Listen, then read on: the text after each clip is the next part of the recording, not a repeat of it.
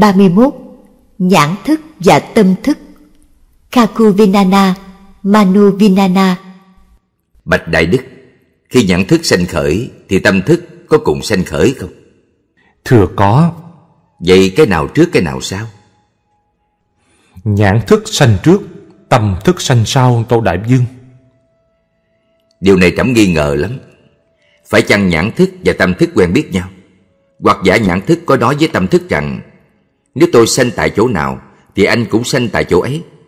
Hoặc tâm thức nói với nhãn thức rằng Anh hãy sanh trước đi Tôi sẽ nương theo anh mà sanh sau. Chúng không giao hẹn với nhau như thế đâu Tô Đại Dương. Nếu không có sự kết ước của hai bên Sao anh thì đi trước Anh thì đi sau Luôn luôn như thế được? Ấy là bởi có bốn tính chất sau đây Khiến chúng cùng sanh một chỗ Đi liền nhau chứ không có ký kết giao ước gì hết. Một là hành trình theo chỗ thấp xuôi chiều. Hai là hành trình theo một hướng, một cửa. Ba là hành trình theo dấu cũ, đường cũ. Bốn là hành trình theo thói quen, theo quân tập, theo quán tính. Hành trình theo chỗ thấp, xuôi chiều là như thế nào hỡi Đại Đức? Nước mưa trên trời rơi xuống. Nó chảy về đâu hỡi Đại Dương? Chảy vào chỗ đất thấp. Nếu có đám mưa khác nữa Cũng chảy vào chỗ đất thấp ấy thôi. Thế trận mưa trước Có nói với trận mưa sau rằng Hễ tôi chảy chỗ nào Thì anh chảy chỗ đó. Hoặc đám mưa sau Nói với đám mưa trước Chỗ nào anh chảy xuống Thì chỗ ấy tôi sẽ chảy theo không Chúng không hề giao ước như vậy. Nước chảy xuống chỗ thấp là chuyện tự nhiên thôi. Nhãn thức sanh khởi trước Tâm thức sanh khởi sau Cũng y như thế. Chẳng giao ước gì cả Tàu Đại Dương Trẫm đã hiểu ví dụ ấy. Còn hành trình theo một hướng, một cửa là thế nào? Ví như có một tòa trấn thành tường cao, hào sâu Nhưng vào ra chỉ có một hướng, một cổng thành duy nhất Vậy người bên trong muốn đi ra bên ngoài phải làm thế nào, Đại Dương? Phải đi ra bằng cổng lớn. Thế người thứ hai, thứ ba? Cũng từ cổng ấy mà ra. Những người ấy có hò hẹn dịp với nhau chăng Mà họ đi ra cùng một cửa? Thưa không. Người ra trước Có nói với người ra sau. Người ra sau Có nói gì với người ra trước Mà họ lại đi cùng Đi chung một hướng Một cửa như thế. Thưa không? Nhãn thức đi trước Và tâm thức đi sau Cùng ra một hướng Một cửa là thế đó Tàu Đại Dương Thế còn hành trình theo dấu cũ, đường cũ là sao?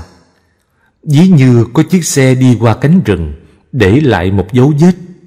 Chiếc xe theo sau Có theo dấu vết đó Mà đi hay tự mở con đường mới Dĩ nhiên là theo dấu vết Theo đường cũ mà đi Họ có hẹn ước gì với nhau chăng? Thưa không Nhãn thức và tâm thức cũng thường theo dấu vết cũ, đường cũ mà sanh khởi y như thế đó Tàu Đại Dương. Tính chất thứ tư của chúng là theo thói quen quân tập quán tính là thế nào Đại Đức? Ví như các môn học, tập viết, làm toán, ban đầu ai cũng dụng về chậm chạp. Nhưng về sau do sự cố gắng tập luyện, làm nhiều, viết quen tay, từ dụng về chậm chạp đã trở nên mau lẹ, nhậm lẹ, tính nhanh, viết thạo. Đấy chính là thói quen, là quân tập, lâu ngày trở thành quán tính như phản xạ tự nhiên vậy. Nhãn thức và tâm thức cùng sanh khởi trước sau cũng mau lẹ theo thói quen, theo quán tính như vậy đó Tâu Đại Dương. Trẫm đã hiểu. Không những nhãn thức mà cho trí nhĩ thức, tỷ thức, thiệt thức, thân thức và ý thức cũng phải được hiểu như trên, cũng có đầy đủ những tính chất nêu trên Tâu Đại Dương. Trẫm đã hết nghi về điều ấy rồi. 32. Hành tướng của xúc Vasalakana. Đức vua Milanda hỏi tiếp. Còn xúc tâm sở thì thế nào? Khi nhãn thức sanh khởi thì Thì xúc tâm sở có cùng sanh khởi chăng? Cũng cùng sanh khởi. Khi nhãn thức sanh không phải chỉ có xúc tâm sở cùng sanh Mà những tâm sở khác cùng biến hành sanh khởi. Thọ, tưởng, tư, nhất tâm Như Bần Tăng đã trình bày cho Đại Dương nghe rồi. Đúng vậy, Trẫm có nghe rồi Nhưng chưa nắm vững lắm. Đại Đức hãy giảng cho Trẫm nghe Về hành tướng của xúc ấy là thế nào. Xúc là đụng chạm, chạm nhau, giao nhau. Đại Đức xin cho ví dụ. Như hai con dê đấu nhau Hai cái sừng của chúng đụng nhau. Cái sừng của con này là nhãn căn Sừng của con kia là sắc trần và chỗ mà hai cái sừng của chúng chạm nhau chính là xúc. Ví như hai bàn tay vỗ vào nhau, Chỗ mà hai bàn tay chạm vào nhau là xúc. Ví như cái nồi mới trồng lên cái nồi cũ, Chỗ tiếp giáp hai cái nồi là xúc. Nói tóm lại, Con mắt giao tiếp với sắc thì có nhãn xúc, Lỗ tai giao tiếp với âm thanh thì có nhĩ xúc. Cái mũi giao tiếp với mùi hương thì có tỷ xúc. Cái lưỡi giao tiếp với vị thì có thiệt xúc. Cái thân giao tiếp với vật trơn, nhám thì có thân xúc. Cái ý giao tiếp với pháp thì có ý xúc. Xúc là cái giao tiếp là cái gạch nối là cái va chạm cái đụng nhau giữa căn và trần. Tô đại dương hay lắm thật rõ ràng. 33. Hành tướng của thọ Vedanalakana Thế thọ tâm sở có hành tướng thế nào? Ra sao? để dễ nhận biết thưa Đại Đức. Khi nào có khổ lạc xả thì đấy được gọi là thọ tâm sở tàu đại dương. Xin cho nghe ví dụ. Ví như Đại Đức Thuở mới lập quốc đã ban thưởng trọng hậu cho các bậc công thần, tức là những người đã từng xông pha trận mạc, lập được nhiều chiến công hiển hách cho Đại Dương. Vị công thần ấy sau khi được đại dương ban cho chức vị phẩm hàm bổng lộc nên y đã sống một đời vinh hoa phú quý sống đời vinh hoa phú quý được cảm thọ rất nhiều lạc thú về ngũ dục chính là thọ đấy tâu đại dương lại nữa ví như có người thuở bình sanh ưa làm việc lành tích lũy điều lành. Biết giữ giới biết bố thí. Sau khi thân hoại mạng chung được sanh lên cõi trời cảm thọ năm loại dục lạc đó là thiên sắc thiên thanh thiên hương. Cảm thọ năm loại thiên lạc ấy là thọ đấy tàu đại dương. Cảm ơn đại đức. 34. Hành tướng của tưởng Sanalakana. Vậy thì tưởng tâm sở. Đức vua hỏi là ghi nhận chụp bắt cái tướng tổng quát của vật ấy là tưởng tàu đại dương xin cho ví dụ. Ví như đại dương có một vị quan giữ kho siêng năng và cần mẫn trong bổn phận của mình. Tất cả những tài sản quý giá ngọc ngà châu báu y đều nắm vững số lượng một cách tổng quát chính xác rõ ràng và không bao giờ nhầm lẫn. Nhận biết chụp bắt ghi nhận cái tổng quát ấy là chức năng của tưởng tức là tri giác đấy tâu đại dương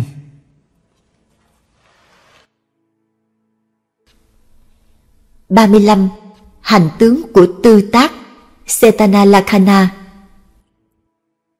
Đại Đức cho biết luôn về tư tác tâm sở Tư tác là khởi ý. Khởi ý làm việc gì đó cho mình Tự tác Hoặc cho người tha tác. Trẫm muốn nghe thí dụ. Ví như có người chế tạo độc dược Tự mình uống rồi ép người khác uống theo. Như vậy không những tự làm khổ mình Mà còn làm khổ kẻ khác.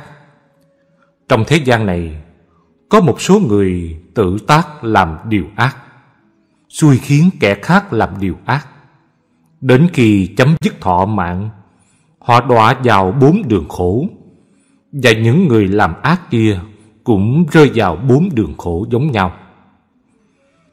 Lại nữa, ví như có người chế tạo một loại nước ngọt, ngon ngọt bổ dưỡng, tự mình uống rồi mời người khác cùng uống.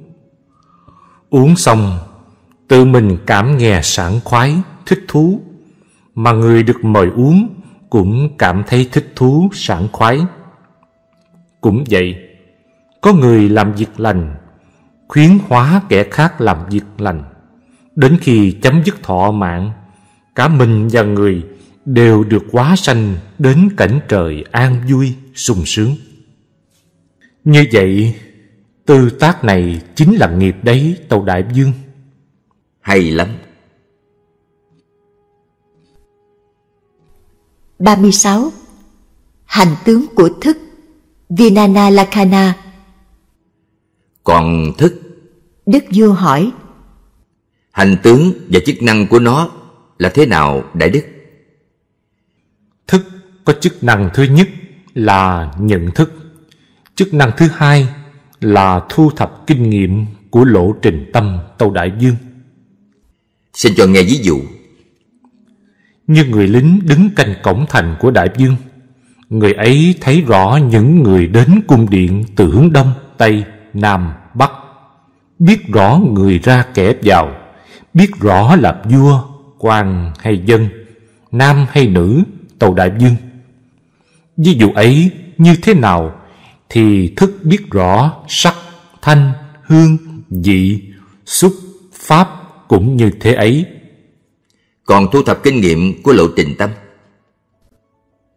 Ví như người lính canh cổng thành ấy Nhờ thói quen, nhờ kinh nghiệm Mà biết rõ những người vào ra, đến đi Kẻ nào gian, kẻ nào ngay. Biết rõ người nào đáng kính trọng Người nào cần phải nghi ngờ Người nào mình thích Và người nào mình ghét. Các cảm giác thọ, Tri giác tưởng, Tham sân hành Ở trong các tiến trình của tâm sở ấy. Thức ghi nhận, Thu thập, Lưu giữ kinh nghiệm Cũng y như thế Tàu Đại Dương 37. Hành tướng của tầm.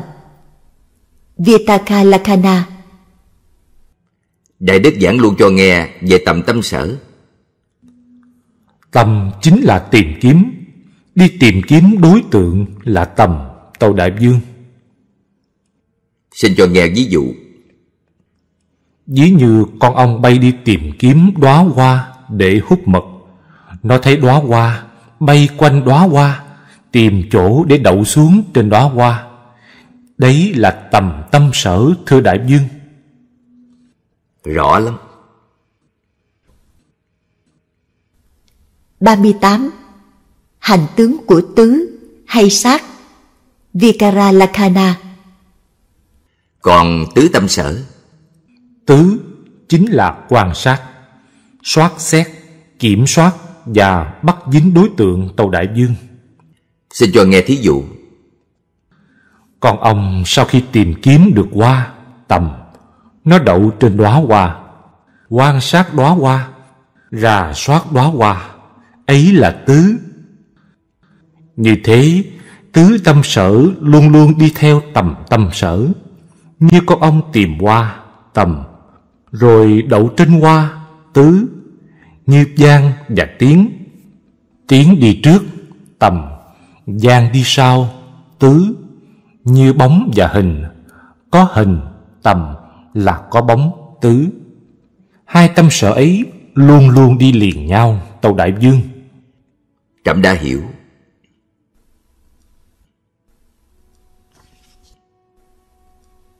39. Lại hỏi về tác ý Manasikara. Đức vua lại hỏi Đại Đức đã có nói về Manasikara rồi. Nhưng khi thì nó có nghĩa là tác ý đến đối tượng khi được hiểu là chú tâm. Khi được hiểu là quan sát đối tượng. Vậy Manasikara khác nhau như thế nào với các tâm sở? Tư tác, tầm và tứ tâm sở. Nó có gần giống với nhất tâm chăng? Đại Dương hỏi rất hay.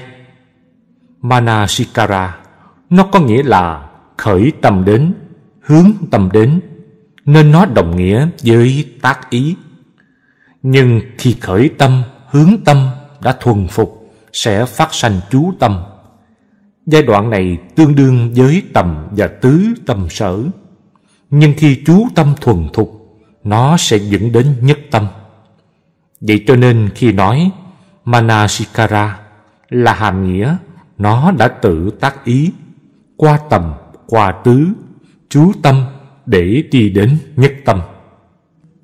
Như thế, chú tâm đưa đến nhất tâm tàu đại dương.